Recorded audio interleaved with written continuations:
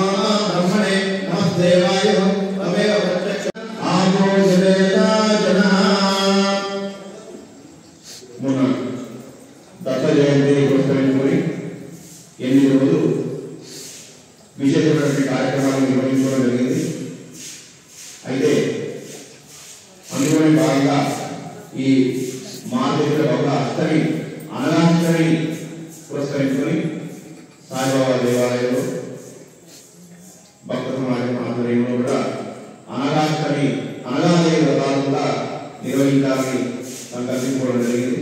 అందులో భాగంగా ఈరోజు అనగాష్ట వ్రతాలు ప్రారంభం జరుగుతుంది. కావున చేసుకునేటువంటి భక్తులు మీ స్థానంలో కూర్చోవలసిందిగా ప్రార్థన. ప్రతి క్షణాలు కూడా వ్రతము ప్రారంభమవుతుంది.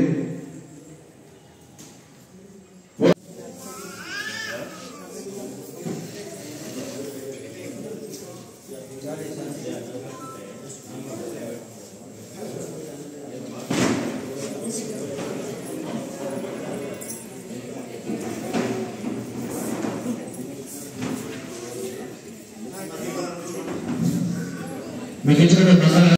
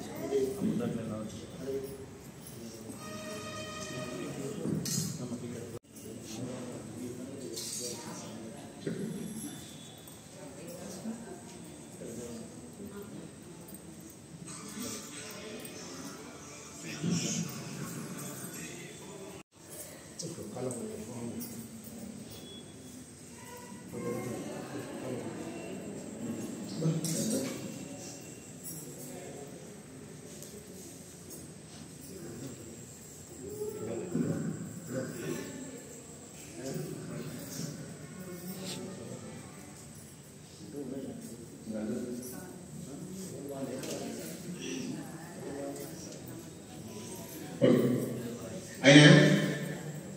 सर्वेभ्यो देवेभ्यो नमः सर्वेभ्यो ब्राह्मणेभ्यो नमो नमः लाभ नीचे कलकत्तपड़ आजम्यान केशवाय नमः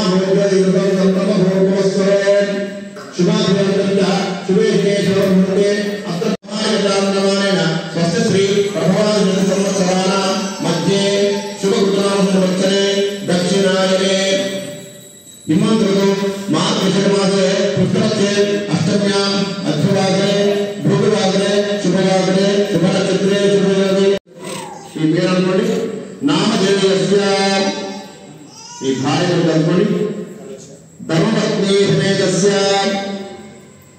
కొడుకు బిడ్డలు కూడా ఒకసారి కలుసుకోండి సపుత్రస్య సపుత్రికస్య. మమ. సకుటుంబస్య క్షేమ స్థైర్య ధైర్య విజయ అభయ ஆரோக்கியா ஐஸ்வர்யா அபி உளுத்தட்டம் தர்ம அர்த்த காம மோட்ச சதுர்விதா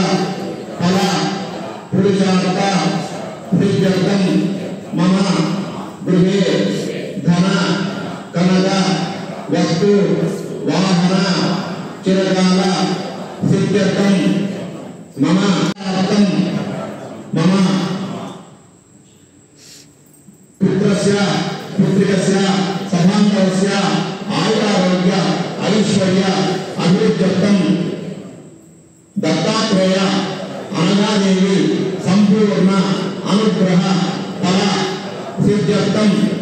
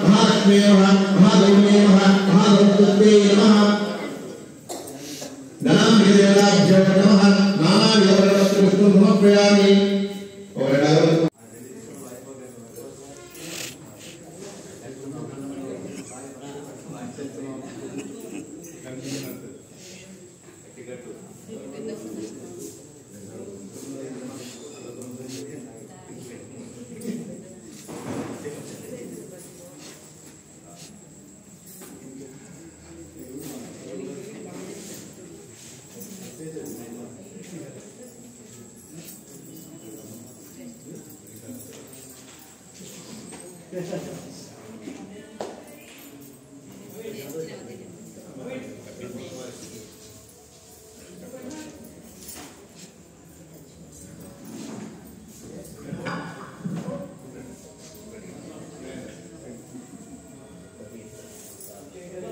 హరి ఓం విష్ణు విష్ణు అన్ని వ్రతంలో లాగానే ఈ వ్రతంలో కూడా ఇప్పటి వరకు చేసినటువంటి కలశ పూజ గణపతి పూజ గౌరీ పూజ అయింది.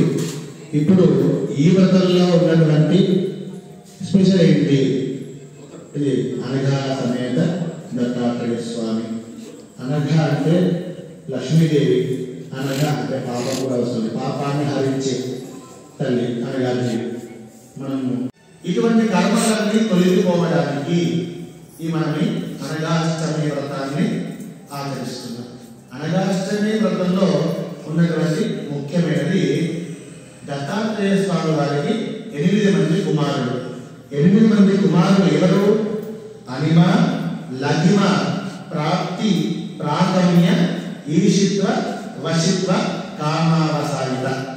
ఎనిమిది మంది కుమారులు. ఆ ఎనిమిది మంది కుమారులే ఆ దత్తాత్రేయ స్వామి వారి చుట్టూ ఉన్నటువంటి ఎనిమిది కలశాలు. ఒక్క కుమారుణ్ణి ఆ కలశానికి ఆవాహన చేసి వారికి పూజ చేసి మనం ఈ అరిహా వ్రతాన్ని ఆచరిస్తాం. ఈ వ్రతంలో చెప్పుకోవాల్సిన విశేషాలు ఐదు కథలు దీంట్లో కూడా ఐదు కథలు ఉన్నాయి. ఐదు కథల్లో కార్తవీర్యార్జునుడు చేసి ఈ వ్రతాన్ని ఆచరించి అందరితో ఆచరించేలా చేశారు అటువంటి వ్రతాన్ని మనం ఇప్పుడు మనం చేసుకుంటున్నాం. ఇదే అనగాష్టమి వ్రతము.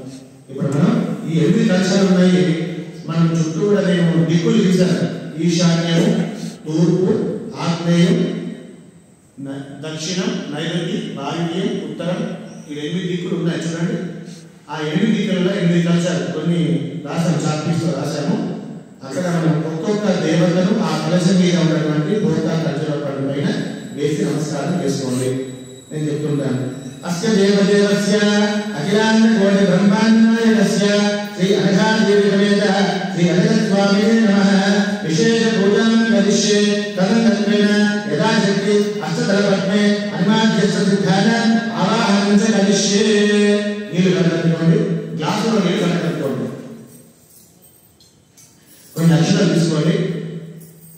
ఈశాన్యం ఈశాన్యంలో ఉన్నటువంటి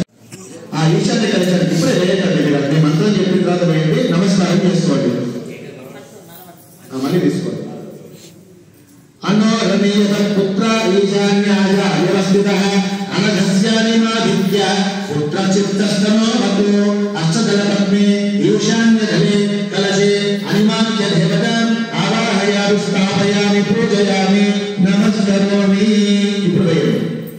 ఈశాన్య కలశం పైన హరిమహాదేవత దత్తాత్రేయ స్వామి వారి మొదటి కుమారుడైనటువంటి హరిమా హరిమాది దేవత మనం ఈశాన్య కలశం నుండి ఆవాహనం చేసినాం ఈయన యొక్క విశేషం ఏంటి అనేది మనకు ఐదో తెలుస్తుంది. ఈయన యొక్క విశేషం. అంటే ఈయన ఏం చేస్తాడు?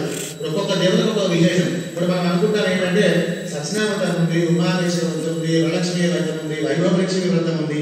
ఇన్ని వ్రతాలు ఏ వ్రతానికి ఆ వ్రతమే విశేషం? ఏ వ్రతానికి ఆ వ్రతమే విశేషం. ఇంట్లో ఉన్నారు తండ్రి విలువ తండ్రిదే తల్లి విలువ తల్లిదే కొడుకు విలువ కొడుకుదే. అలా మనం ప్రతి ఒక్క దేవత యొక్క విశేషము ఆయా దేవతలకు ఉంటుంది. ఏ దేవత విశేషం చెప్పినప్పుడు ఆ దేవతనే గొప్పవాడు. ఇక్కడ అనగానంద దత్తాత్రేయ స్వామి వ్రతం ఇక్కడ గొప్పది. ఎందుకు? సకల దేవతల రూపము దత్తాత్రేయ స్వామి. ఇక్కడ అన్ని రూపాల ఒకే రూపం. దత్తాత్రేయ స్వామి అని మొన్న పాలన చేసిన చెప్పాడు. త్రిమూర్తి ఆత్మకుడు త్రిమూర్తి స్వరూపము. కాబట్టి అనగా స్వామి అన్నిటికంటే గొప్పవాడు అంటే ఈ వ్రతంలో నేను చెప్తాను ఏ వ్రతం చెప్పిన వల్లే గొప్పది. ఈ వ్రతంలో ఉన్నప్పుడు దత్తాత్రేయ స్వామి వారిని పూజ చేస్తే సకల దేవతలకు పూజించినటువంటి వ్రతం వస్తుంది. ఇప్పుడు ఈశాన్య దిక్కున అనిమాదిమావాహయామి స్థాపయామి పూజయామి నమస్కరోమి. అక్కడ గంధము పసుపు కుంకుమ ఒక పువ్వు రెండు పువ్వు నాలుగు పువ్వు పువ్వు పెట్టి నమస్కారం చేసుకోవాలి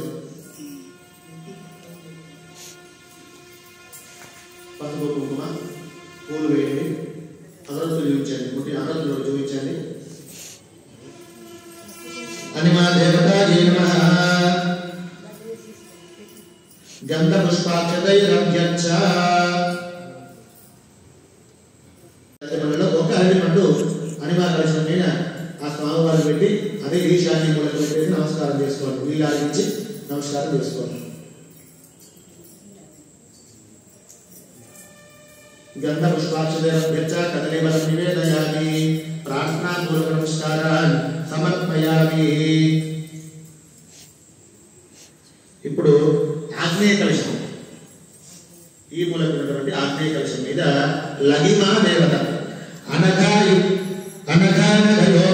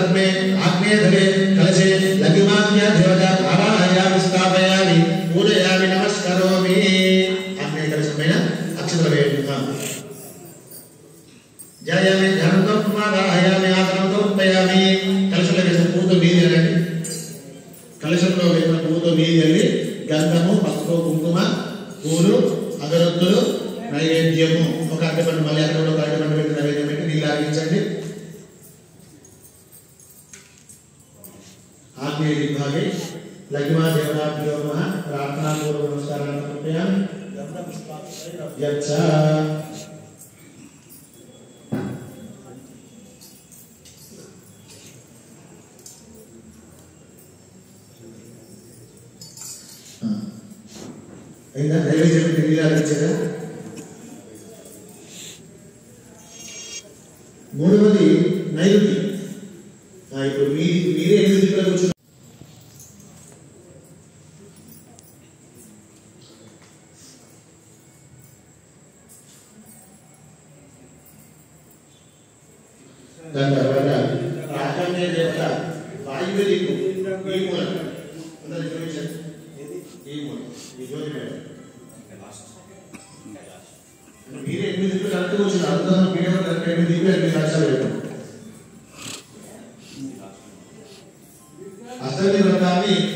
ఎనిమిది దేవుడు పది గంటలు చేశాడు. కానీ రెండు గంటలతో భగవంతుడు మీ ఎనిమిది మందితో అష్టమి వ్రతాన్ని ఎనిమిది మందితో చేస్తున్నారు